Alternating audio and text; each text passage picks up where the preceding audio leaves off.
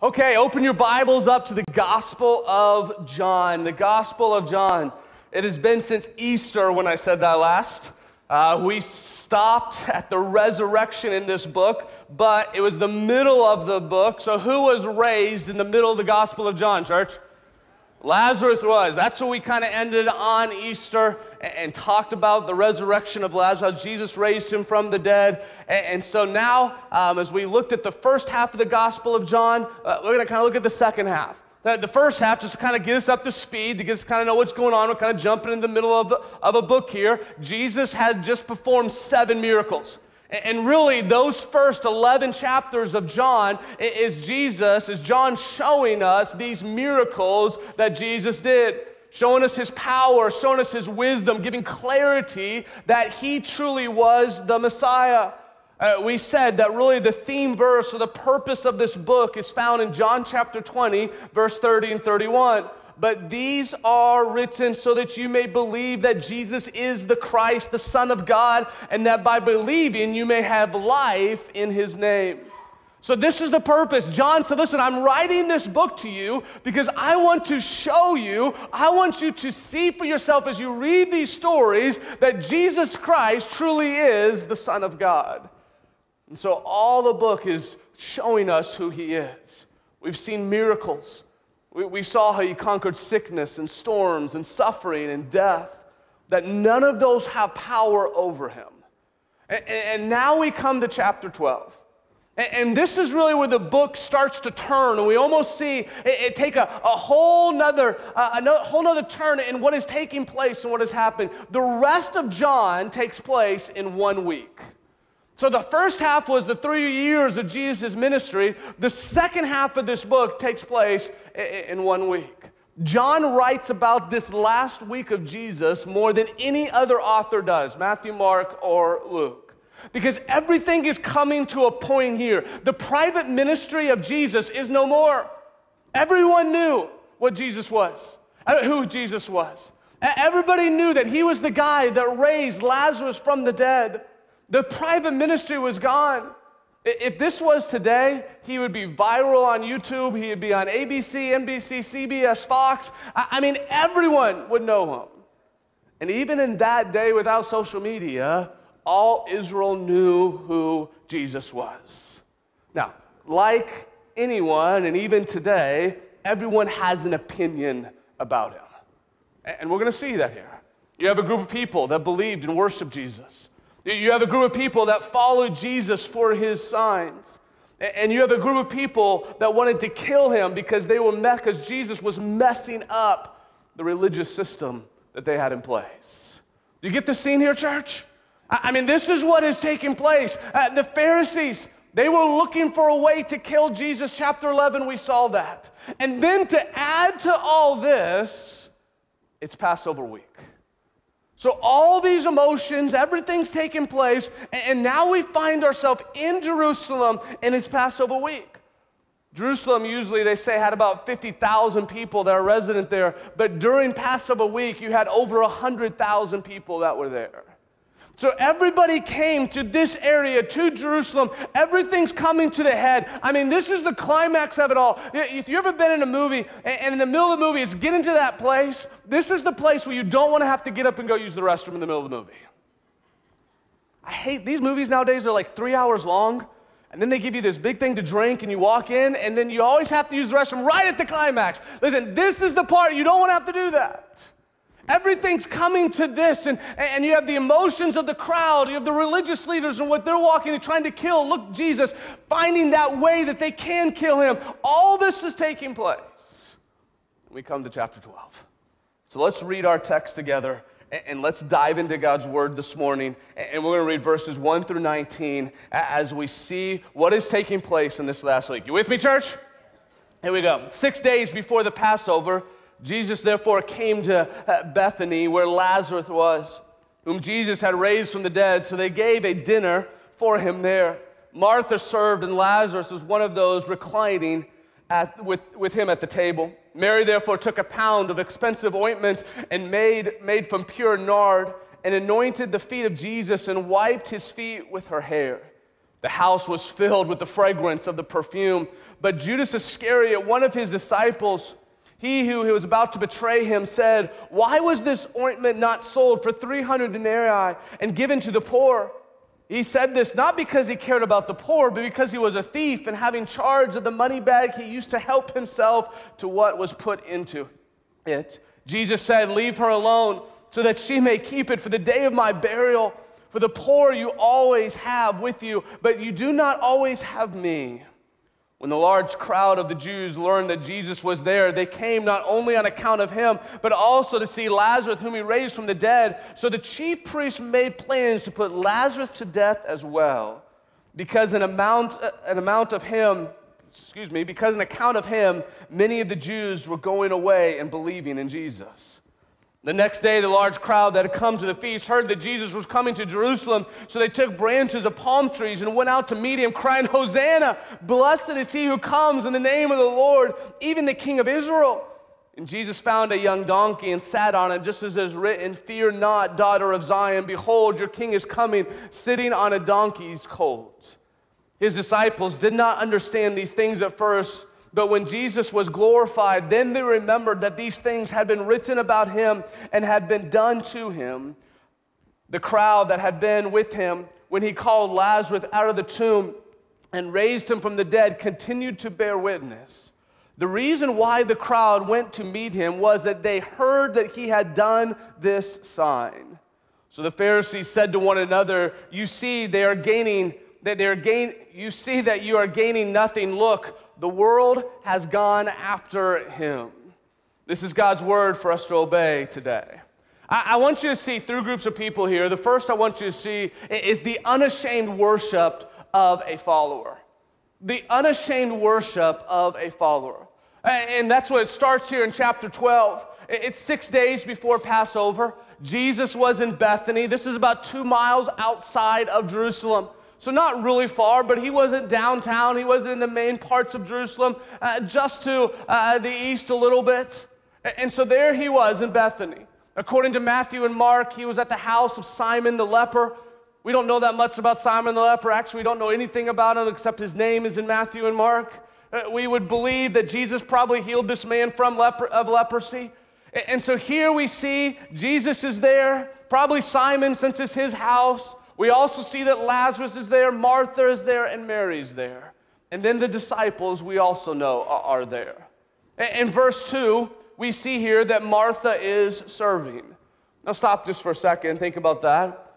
If you've ever read the Gospel of Luke, and if you remember in the Gospel of Luke, we also see Martha serving at one point. It says that Martha's serving there, and Mary's sitting at Jesus' feet, and Martha gets kind of upset that Mary's just sitting at Jesus' feet and not helping in the kitchen. And so Martha comes to Jesus and says, Will you tell Mary to do something? And, and Jesus says, Martha, Mary has chosen what is best. Now, it's interesting. You say, Jeremiah, is this the same thing? Has Martha not learned her lesson? And I, I think this is a different situation here. Because in the Gospel of Luke, it says this that Martha was distracted by serving. And I think that's important because here it just said that Martha served. I, think it comes down to motive. Listen, serving's not wrong, it's just where your motive is at. And I would like to think that Martha by this time has grown. And yes, even though she is serving, her motive is different. But this story really is not about Martha. We just see a couple words about Martha. It's really about Mary. This story is about Mary. Now, this is not Mary Magdalene. This is not Mary of Jesus' mother. Uh, this is Mary, whose brother was Lazarus, who was raised from the dead. Mary here does this incredible act uh, of worship. Look at verse 3. It says, Mary therefore took a pound of expensive ointment made from pure nard. Now, what is nard? Turn to the person next to you and tell them what nard is, because I know you know, but the person next to you probably doesn't. So go ahead and tell them what it is, right? Okay? Because everybody knows what that is, right? I, had to look it up too, okay? It, it, it, nard comes from a flower in India, and it's an expensive um, ointment. And so here we see what was put on his feet was worth 300 denarii. And so that's a, a year's wages for somebody who is working in the field. And so that's a lot. Now, that's a lot of money. That he or she breaks this open and pours it on Jesus' feet. She bends down and as she goes to wash his feet. Now again, think about that time frame. Again, when you read these stories, you got to jump into the story a little bit and here are all these people reclining at the table. They didn't sit in chairs like we did. They would more lay down and and so Mary comes up to Jesus and starts to wash his feet. Now, the feet were gross at that time. They didn't have roads like we do, they didn't come in cars. They walked on dirt roads, they wore sandals. And so here Jesus comes, and uh, here Mary, Mary comes and takes the dirty feet of Jesus and, and washes them. It's an act of humility. It was an act of outward worship to him. She goes even farther. I mean, that alone is, is humbling. That alone is showing a sign of humility. But she goes even farther and she lets down her hair. And instead of getting a towel and washing or drying them off with the towel, no, she dries them off with her hair. Listen, the hair is important to a Jewish lady. My understanding, just reading some uh, Jewish literature this week, if an unmarried woman would not always have her hair covered, but is always fastened in the back. But a married woman would have it covered. And her hair really was only shown to her husband. Now, we don't know if Mary was married or if not, but e- either way, we know what she did here was not norm, was not what everybody would have expected. And see, Mary was showing her devotion and worship to Jesus. Judas didn't like that very much.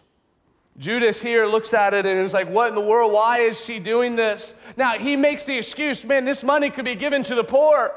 Now, as we see here, Judas could care less about the poor. He was a thief and he just wanted the money. Jesus puts him in his place, verse 7 Leave her alone so that she may keep it for the day of my burial. For the poor you always have with you, but you would not always have me. Listen, it's interesting that do you remember when Jesus went to the tomb? Uh, uh, actually, when he went off the cross and they put him in the tomb, they didn't really have time to put spices and they didn't have time to burial, bury him like they were supposed to. That's why the ladies were coming to the, the tomb those days later to do that. He was kind of taken off the cross and put in there. Well, here Jesus is saying, She's preparing me for my burial. He, she's doing something as she's putting this expensive spice, this expensive ointment on Jesus. You know, I was reading, a lot of commentators believe that Mary knew something, that she picked something up that the other disciples never did. You see, Jesus had said numerous times that he was going to die.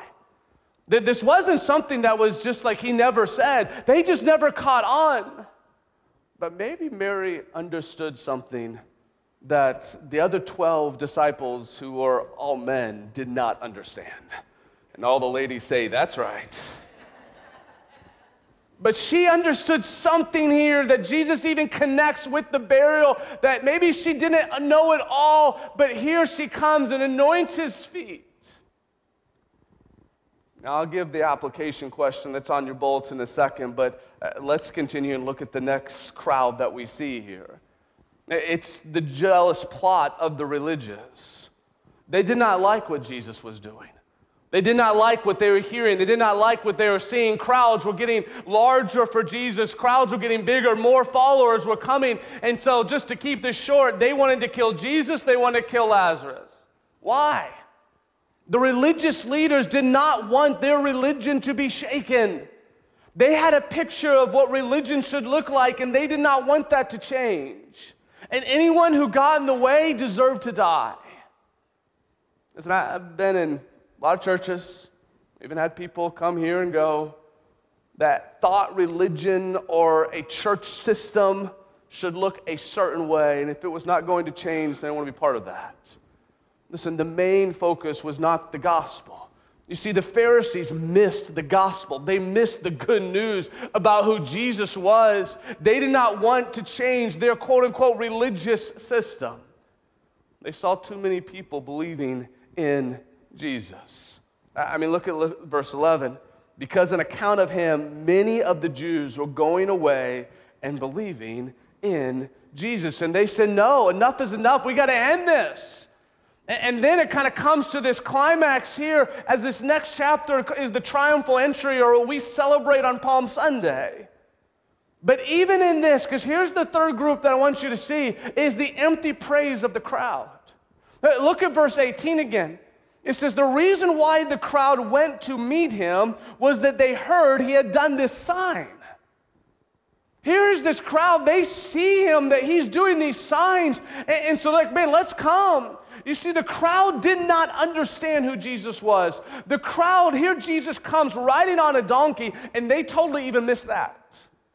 The significance of him riding on the donkey was a sign of peace. You see, if he had ridden on a horse, that's a sign of war or of battle. They wanted Jesus to come and to be king right then. They wanted Jesus to, to deliver them from the Roman government. And so they're like, yes, I mean, he's raising people from the grave, he's healing leopards, he's doing all these things. This is our king. This truly is the Messiah. If you remember back in chapter 6, they were trying to forcefully take Jesus and put him as king. Jesus slipped away because they were right there, it says, about to take him and saying, Yes, you're king now, because yes, we don't want to have to deal with all the Romans anymore. Come and deliver us from this. It says here they laid palm branches down. Palm branches were a sign of Jewish nationalism. It wasn't just to make the road look pretty. It wasn't just so there were puddles and I didn't want the donkey to have to step in the puddles. No, uh, palm branches were important to them. It was saying that, yes, Jewish freedom, we need this now. And Jesus is the one that's going to do this. And so that's why they cried out, as it said there also, Hosanna. What's Hosanna mean? It means save us now. Hosanna, save us now. And then they even say, King of Israel. Their praise came to Jesus because they thought he was going to deliver them, that the rescuer had come at this day. They wanted something out of Jesus right then. They wanted their best life now. However, when Jesus did not do that, their praise quickly turned, and they quickly walked away as they cried, Crucify him crucify him. He didn't save them, and so they wanted to get rid of him. If he wasn't going to do what we thought, just a couple days later, they hung him on a tree and walked away from him. Now, what do you do with this text? What, what do you do? We can let this passage fill our minds, or we can let it run into our hearts. So let's look at this text. Let me give you some things to think about and ask yourself. Here's the first thing Will my worship of him be unashamed? Okay, let's not just listen to some stories here. Let's just not feel the stories. Uh, let's take it to the heart because I think that's what the Word of God does, right? In Hebrews, it says it pierces the heart. And so the reason why we go through these is we talk about them, but let it come to our heart now. And so let me ask you we can look at Mary and go, yes, man, Mary had this unashamed worship of who Jesus was. And so let me ask you, will your worship be unashamed? We love the example of Mary, but will you follow in that example? One of the practices of our church is, is worship. As I look at Mary's worship here, I see it's public, it's sacrificial, it's personal. It's public, it's for all to see that her worship is to Jesus. Listen, there's nothing wrong with private worship, but we also see all through the scriptures of public worship. Because the public worship, sometimes we're like, well, I'm just a shy person, so I'll kind of do it in my closet. Great, we all should be doing in our closet. That's where it starts. But there is also a worship that we need to have that is public, that we're letting others, we're letting our kids, we're letting our spouse, we're letting the people around us say, yes, Jesus is the most important thing to me. Christ is enough for me. Doesn't matter what's going on, Christ is enough. Listen, is your worship to Him unashamed? Public, it's sacrificial. I mean, here, that ointment, maybe that was a, a family heirloom that got passed down to her from generation to generation. I, maybe she had been saving that for years. That wasn't something that just kind of happened real quick. She, we don't think she was that wealthy. So here, she sacrificially says, Jesus, here's my worship to you. And then it was personal. Her getting on her knees and washing the dirty feet of her Savior, taking her hair down, and then wash, drying it with her hair. Listen, it was personal. Listen, can I ask you, how would you describe your worship of Jesus? How would you describe your worship of Jesus? If I to ask you to put three words down of your worship to Jesus, how would you describe it right now? I'm not asking how did you describe it a year ago when you were on fire for him. I'm asking how would you describe your worship of Jesus right now? Would it be public, sacrificial, personal? Or would it be non existent, short, leftovers? How would you describe your worship of Jesus? Is it unashamed? Are you willing to let others see your worship of Jesus? Listen, how about at your workplace? Are you unashamed of your worship of Jesus? How about at your school? Are you unashamed of your worship of Jesus? Uh, how about in your neighborhood? Are you unashamed of your worship of Jesus? Now, you might have to answer this second question before you really can even get to that one. And so here's the second one Well, I allowed the gospel to disrupt my life?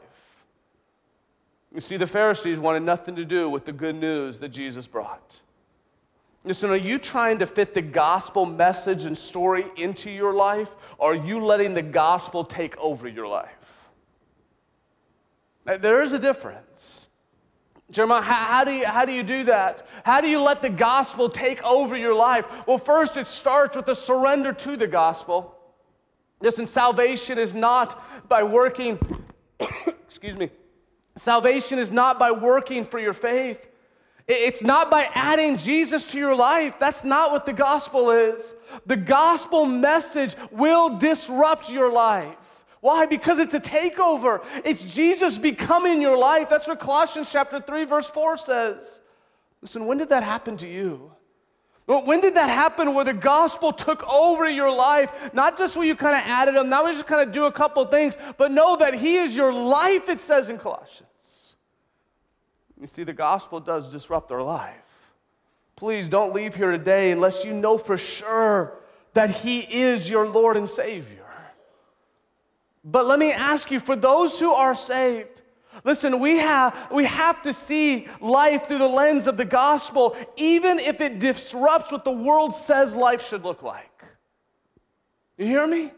Even if the world says this is how it should be. No, listen, when we live the gospel out practically in our life, it is going to change things. It is going to make things look a little bit different. I'll, I'll practically give you some ways. When we live in the gospel story, sin looks differently. When we live in the gospel story, sin's gonna look differently. I, I see sin not as this pleasure that the world sees it, but I see it as disobedience to my Savior. You see, when I live in the gospel story, it, it, sin looks differently. When I live in the gospel story, death looks differently. Listen, I, I don't fear death because I know it's not the end. I sorrow over death when loved ones die in this world, but that's not the end. Say, Jeremiah, how? You see, the gospel disrupts my selfishness and tells me that there's more. You see, when I live in the gospel story, even death looks different. When I live in the gospel story, purpose is defined. Purpose is defined. I know what my life is supposed to do. It's supposed to bring him glory, whether eat or drink whatsoever I do, do all to the glory of God. When I live in the gospel story, listen, Jesus is my all. Church, let me ask you Will we live daily in a religious system trying to do good and do what's right? Or will we live daily in the gospel story, letting it disrupt every area of our life, but that we brings us that peace and that joy and that hope that only the gospel can give us? How will you live? What will your life look like? I'm not saying church is not important. That's why I keep calling it a religious system. You see, when we live in the gospel story, we see how important his body is the church. When we live in the gospel story, we will worship him, and our praise will be so much more than just what the crowd did. And so that's the last question is will my praise be more than circumstantial? Listen, no matter what's going on in your life, when I understand and live in the gospel story, my praise to Jesus continues no matter what goes on in my life. It will be a praise based on what Jesus did on the cross. Listen, church, the gospel, it changes everything about the way I live. It's not just in the good times, it's not just in the bad times. In everything that I do, when I understand what Jesus did for me on the cross, when I understand how he went to a grave and rose from that grave, now that he's sitting in the heavens, and I understand that he is coming back on a horse one day in Revelation chapter 19. When I understand that, it changes the outlook of my whole life. It changes how I live. It changes as I go through my life. What happens and what takes place. You see, the gospel, it changes my life. So, how will you let the gospel change your life this week? It might disrupt. When I say disrupt, I know we're looking at that as a negative word. I'm not saying that. I'm saying it's a good thing that the gospel disrupts our life. Because you know what? We get so stuck in this world system that we need it to shake us out a little. Will you let the gospel really take over your life? No matter what the circumstances are, to say, God, I'm going to praise you as I look to what you have already done in the story of the good news of Jesus. As Isaac comes and we are ready to close, or Miguel, I, this is a book that my kids, uh, I picked up my kids' library or something. They are raised by William Carey. It's the story of, uh, of William Carey. Uh, let me just, see, let's just say today, though, I could give you a book of your life. And it was past, present, and future. I could hand you a book, and it was all your life. How many would like to read that book? Say, Jeremiah, if I could do that, life would be a lot easier. If I could just look ahead and see and read that book, man, life would be so much easier. Maybe. Might not want to read what's ahead of us. But, church, hear me. The gospel does not give me my own book, it, it puts me in his book. The, the gospel is not about my life, the gospel is about me being part of his story. You see, we're trying to create our own life. We're trying to, this is me, and I, I'm saying, listen, it's not your life. It's His. I want to be part of His story. You see, when I realize that I am part of His story, I already know what the future is. We say, man, if I knew the future, then man, I, I already know what the future is. Yeah, there's some blurry parts that I might not know yet, but I know what all eternity is. I know what happens when He comes back because I'm part of His story. I'm not going to tell you to go out and write your own story. No. I want to tell you to be part of his story. Because when we understand his story, that's the good news. Listen, it changes everything about how we live, it changes everything about our life.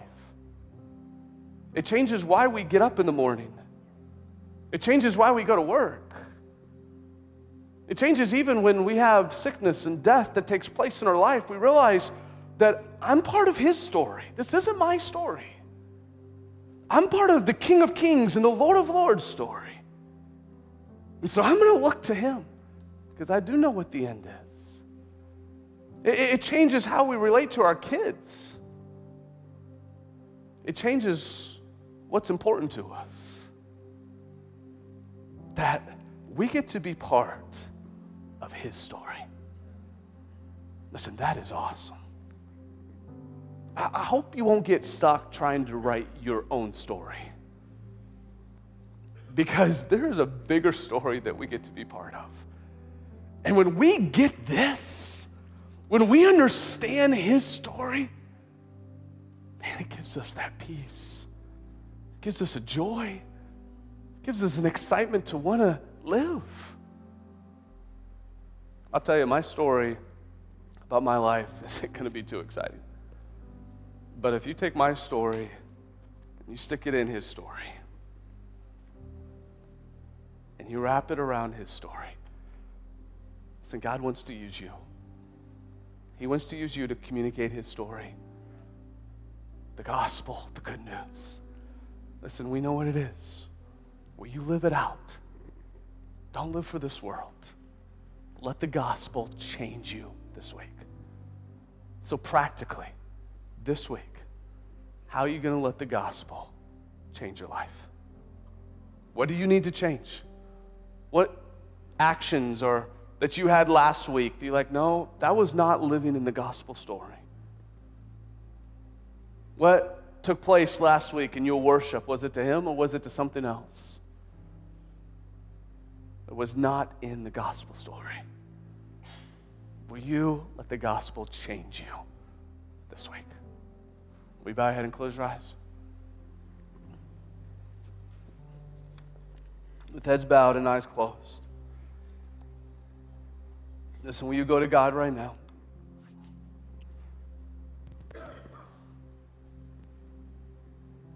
And ask what changes need to take place in your life right now in order for you to truly live in the gospel story. What place of surrender do you need to be at? Let's not be like the crowd that just comes on one day and praises Him. Listen, if we do that on Sunday, then go out and live how we want, then we're just like the crowd here. One day praising Him, the next day saying, Crucify Him. Listen, let our praise be like Mary unashamed worship. Continue. It wasn't just a one time for Mary. No, you see Mary through the gospel, through this last week of Jesus' life. You see Mary going to the tomb. Why? Because her praise was continual. She was there at the foot of the cross. An unashamed worship. Don't just come and Sunday and sing about how great He is, but then go out and live how your life is. Let's be part of His story this week. So, will you put your burdens, put your cares, put all that, surrender to Him again at the foot of the cross? And if you're here today and you do not know Christ as your Lord and Savior, listen, please don't leave till you come and talk to me. Talk to somebody. Let us share with you how you can have a personal relationship with Jesus Christ.